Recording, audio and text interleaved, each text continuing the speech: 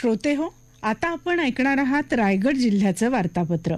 आनंदात आणि परंपरागत पद्धतीनं साजरा झाला गणेशोत्सव. खांदेरी किल्ल्याच्या संवर्धनासाठी आठ कोटी रुपयांचा निधी उपलब्ध. मुलीकडून आईच्या हत्येच्या दोन घटनांनी रायगड हादरला. या होत्या गेल्या महिनाभरातल्या रायगड जिल्ह्यातल्या ठळक घडामोडी. या आणि इतर घडामोडींविषयी सविस्तर माहिती देत आहेत आमच्या वार्ताहर शोभना देशमुख.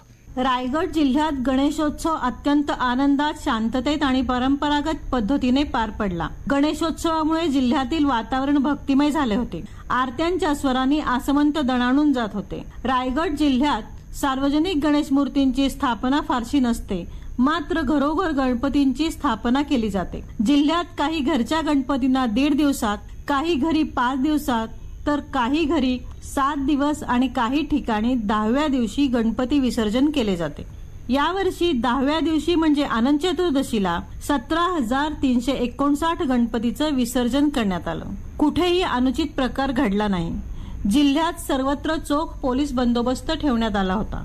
एकशे छत्तीस वरिष्ठ अधिकारी बाराशे एकतीस police constable S R P एफचे दोन प्लाटून पीचे दोन प्लाटून ट्रायकिंग फोर्सच्या सात तुकड्या होमगार्ड तैनात करण्यात आले होते. मुंबई गोवा महामार्गावर वाहतूक कोंडी होऊ नये म्हणून पुरेशी काळजी घेण्यात आली होती. कोकणी माणूस कुठेही असो गणेशोत्सवासाठी गावची वाट धरतोच धरतो. दरवर्षीप्रमाणे यंदाही चाकरमानी मोठ्या प्रमाणात गावी आल्यानं गणपती काळात कोकणातील गावं खचाखच भरली होती. हा आनंद उत्साह आणि भक्तिसागरात बुडालेली ही गावं आता पुन्हा ओस पडली आहे. चाकरमानी रोजीरोटीसाठी पुन्हा शहराकडे रवाना झाल्यानं अनेक घरांची कवाडं आता बंद झाली आहे रायगड जिल्ह्यातील अनेक गावात आज हे चित्र दिसते आहे.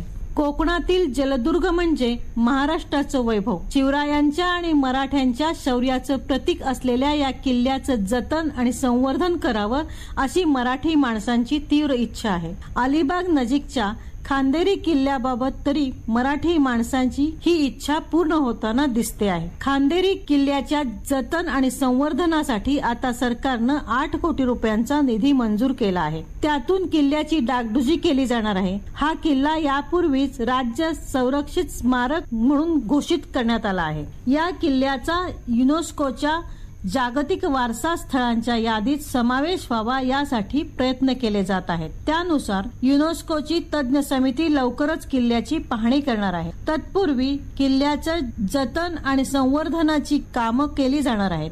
जंजिरा किल्ल्यावर नजर ठेवण्यासाठी महाराजांनी खांदेरी आणि उंदेरी हे दोन किल्ले बांधले होते. हे किल्ले पर्यटकांसाठी खुले नाहीत.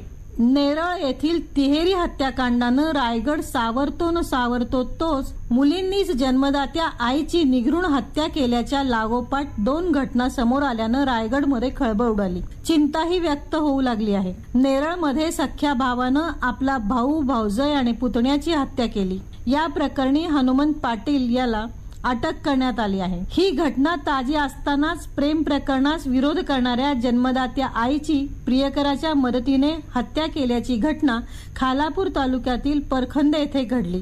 भारती झोरे आणि संतोष नांदगावकर यांनी दोराच्या सहाय्याने गळा आवळून आई संगीता झोरे यांची हत्या केली. ही घटना घडल्यानंतर दोनच दिवसांनी अशीच घटना पनवेलमध्ये घडली. आई प्रिया नाईक बाहेर जाऊ देत नाही आणि मोबाईलही वापरू देत नाही म्हणून चिडलेल्या प्रणिता नाईक यांनी सुपारी देऊन आईची हत्या घडवून आणली. या प्रकरणी मुलगी प्रणिता विवेक पाटील आणि निशांत पांडे यांना पोलिसांनी अटक केली आहे. आई भाऊ अशा पवित्र नात्यांना काळीमा फासणाऱ्या या तिन्ही घटना थरकाप उडवणाऱ्या आहेत. नातेसंबंधाची वीण आता सैल होत चालली असून छोट्या छोट्या घटनांवरून थेट नातेवाईकांचे जीव घेण्यापर्यंत मजल गेली आहे. यावर मानसोपचार तज्ज्ञाकडून जनजागृती करण्याची गरज आहे. पनवेल खालापूर सारख्या नव्यानं शहरीकरण होत असलेल्या भागात जास्त प्रमाणात अशा घटना घडत असल्याचं दिसून आलं आहे. शोभना देशमुख अलिबाग रायगड. याबरोबरच रायगड जिल्ह्याचं वार्तापत्र संपलं. हे वार्तापत्र आकाशवाणी मुंबईच्या प्रादेशिक वृत्त विभागानं सादर केलं.